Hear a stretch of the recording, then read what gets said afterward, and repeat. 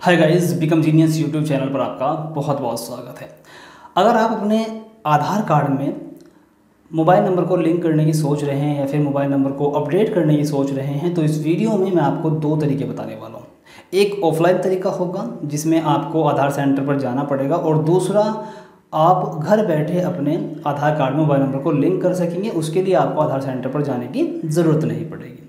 तो अगर आपके आधार कार्ड से कोई मोबाइल नंबर लिंक नहीं है और आप लिंक करना चाहते हैं या फिर ऐसा मोबाइल नंबर लिंक है जो वो खो गया है या फिर जो बंद हो गया है या फिर आपके पास में वह सिम कार्ड नहीं है तो उसको आप कैसे अपडेट कराएँगे वो सब मैं इस वीडियो में स्टेप बाय स्टेप बताने वाला हूँ। तो वीडियो को बिना स्किप किए आपको एंड तक देखना है।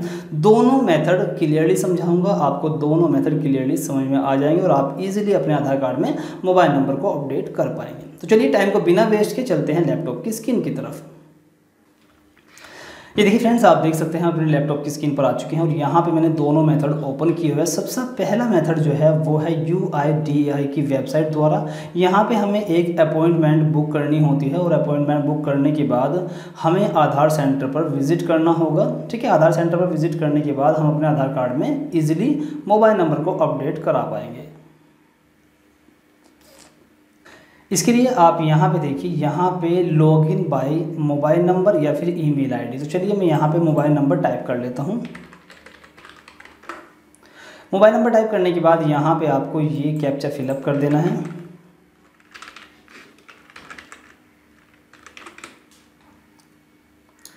मोबाइल नंबर और कैप्चा फिलअप करने के बाद सेंड ओटीपी के ऊपर क्लिक करना है। इस, ऐसा करने से आपके मोबाइल नंबर पर जो आपने यहाँ पे भी फिलअप किया है, इस पर एक ओटीपी जाएगा और ओटीपी को यहाँ पे आपको वेरीफाई करना है। चलिए मैं कर देता हूँ। देखिए फ्रेंड्स ओटीपी जा चुका है, मैं यहाँ पे ओ फिलअप कर लेता हूँ। ये देखिए फ्रेंड्स मैंने यहाँ पे ओटीपी को फिलअप कर दिया और यहाँ submit O T and proceed के ऊपर क्लिक करेंगे। यहाँ पे आपको एक ऊपर की तरफ़ बटन देगा न्यू एनरोलमेंट आप इसके ऊपर क्लिक करेंगे।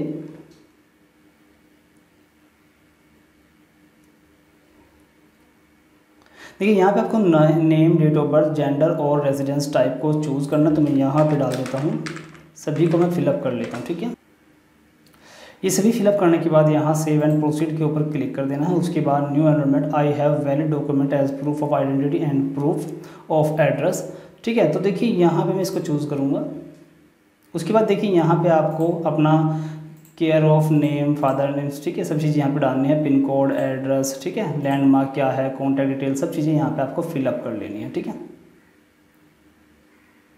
आपको आपका आइडेंटिटी कार्ड और उसके बाद एड्रेस प्रूफ और बर्थ प्रूफ ऑफ़ किस ठीक है? तो यहाँ पे तीनों डॉक्यूमेंट आपके पास जो भी हो, ठीक है? यहाँ पे लिस्ट दी गई है, उनके अनुसार आपको सिलेक्ट करना है, उसके बाद सेव एंड प्रोसीड के ऊपर क्लिक करना है। तो देखिए, यहाँ पे पहले ईमेल को वेरीफाई करने के लिए बोला तो चलिए ईमेल को वेरीफाई कर लेते हैं।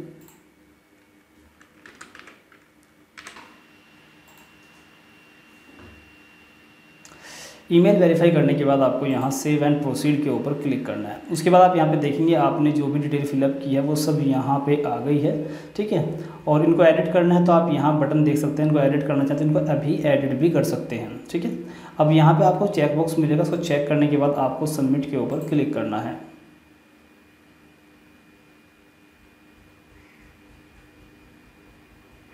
ये देखिए your application has been created तो आपको यहाँ पे एक आईडी क्रिएट हुई है, आपको इसको सेव करके रखना है, खोना नहीं है, आप इसको कहीं पर लिख करके रख लीजिए या फिर कॉपी पेस्ट करके रख लीजिए। अब आपको यहाँ पे बुक अपॉइंटमेंट के ऊपर क्लिक करना है। अब आप यहाँ पे आपको सर्च बाय सेंटर नेम आप यहाँ सेंटर नेम के द्वारा भी सेंटर को सर्च कर सकते हैं, या फिर पिन कोड के द्वारा भी आप सेंटर को सर्च कर सकते हैं। आपके एरिया में जहाँ पर भी आधार सेंटर है, जहाँ पर आप बुक अपॉइंटमेंट करना चाहते हैं, वो आप यहाँ से देख सकते हैं। तो आप यहाँ पर एक काम करें, जो भी आपका पिन कोड है, वो यहाँ पर डालें उसके बाद गेट डिटेल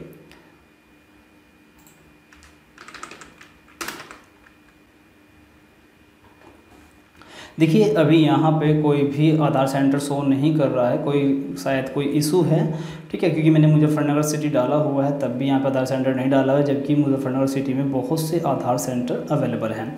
तो यहाँ पे आपको आधार सेंटर को चूज़ करने के बाद यहाँ पे अपॉइंटमेंट को बुक कर देना ये पहला तरीका आपका रहेगा और आप यहाँ से एक रिसिप्ट भी डाउनलोड कर लेंगे, जो आपको आधार सेंटर पर जाकर दिखानी होगी।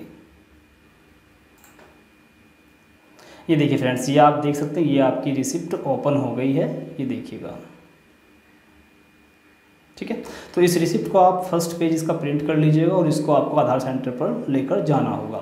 चलिए अब दूसरा तरीका जान लेते हैं, दूसरा तरीका क्या है? उसके लिए देखिए, ये मैंने लिंक दिए हुए हैं, दोनों लिंक मैंने वीडियो के डिस्क्रिप्शन में दे दिए हैं, वहाँ पर क्लिक करके इन दोनों पोर्टल पर पहुँच सकते हैं। ये है इंडिया पोस्ट के माध्यम से इंडिया पोस्ट के माध्यम से भी आप अपने आधार कार्ड में मोबाइल नंबर को अपडेट करा सकते हैं। इसमें मेथड क्या होता है? इसमें यहाँ पे आपको अप्लाई करना होगा। अप्लाई करने के बाद पोस्ट ऑफ़िस से कोई एजेंट आएगा जो आपके घर पर आएगा और घर पर आकर वेरीफाई करेगा कि आप वही व्यक्ति हैं या नहीं हैं और जो आपने डिटेल फिलअप की है वो सब सही है या गलत तो नहीं है और इतना करने के बाद आपके आधार कार्ड में वह मोबाइल नंबर को अपडेट करा देंगे। ठीक है? तो यहाँ पे आपको नेम डालना है एड्रेस डालना है पिन कोड डालना है ईमेल आईडी मोबाइल नंबर ठीक है? और यहाँ पे सभी चीज़ें डालने के बाद यहाँ आपके मोबाइल पर एक ओटीपी जाएगा। चलिए मैं देख लेता हूँ, ठीक है? मैं सभी डिटेल को फिलअप कर लेता हूँ। देखिए, यहाँ पे आप देखेंगे, यहाँ पे दूसरा number I P P B Aadhaar service, आपको ये चूज़ करना है। और नीचे की तरफ़ आएँगे तो नीचे की तरफ़ आपको यहाँ पे दूसरे नंबर पर mobile, email to Aadhaar linking ठीक है, ये चूज़ करना है। उसके बाद रिक्वेस्ट ओटीपी पर क्लिक करना है और आपके मोबाइल पर एक ओ जाएगा, जिसको यहाँ पे आपको वेरीफाई करना होगा।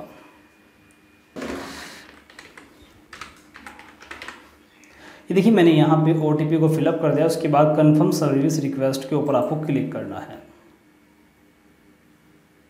यहाँ पे आप देखेंगे request submitted successfully request reference number यहाँ पे आपको एक रेफरेंस नंबर मिलता है। आप इसको भी सेफ़ रखेंगे, अपने पास में कहीं पर आपको लिख कर रख लेना है। और दूसरी बात, इस प्रोसेस में लगभग पंद्रह से बीस दिन लगते हैं और पंद्रह से बीस दिन लगेंगे। दूसरा जो पहला प्रोसेस है, उसमें आप अपॉइंटमेंट बुक करने के बाद इजीली आधार सेंटर पर जा करके अपने आधार कार्ड में डेट ऑफ़ बर्थ को अपडेट करा सकते हैं। अभी मैंने जो पहला मेथड दिखाया, वहाँ पर मुझे कोई आधार सेंटर शो नहीं कर रहा था, वरना आधार कार्ड सेंटर शो करने के बाद आपको डेट भी मिलती है। आपको कौन सी डेट आपके लिए सूटेबल है, आपको वहाँ पे चूज़ करना होता है और उसी डेट में आपको वहाँ पर पहुँचना होता है, ठीक है? तो आप अपने आप से करके देख लीजिए कोई दिक्कत आए तो आप मुझसे कमेंट के माध्यम से पूछ सकते हैं।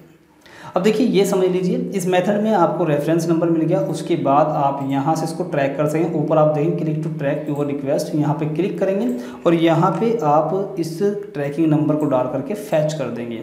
यहाँ से आप देख पाएँगे कि आपकी एप्लीकेशन का स्टेटस क्या है। तो अभी हमने इस एप्लीकेशन को अभी डाला है तो ये अभी पेंडिंग शो कर रहा है। तो कुछ टाइम के बाद पोस्ट ऑफ़िस वाले इसको देखेंगे और देखने के बाद आपके घर पर आकर के जो भी वेरिफिकेशन करेंगे, वो वहाँ पे आएँगे आपके घर पे और वहाँ आपसे पूछेंगे, आपका नाम पता, सभी चीज़ें कंफर्म करेंगे, ठीक है? उसके बाद आपके आधार कार्ड में मोबाइल नंबर को अपडेट कर दिया जाएगा। तो ये बहुत ही सिंपल है और बहुत ही ईजी है।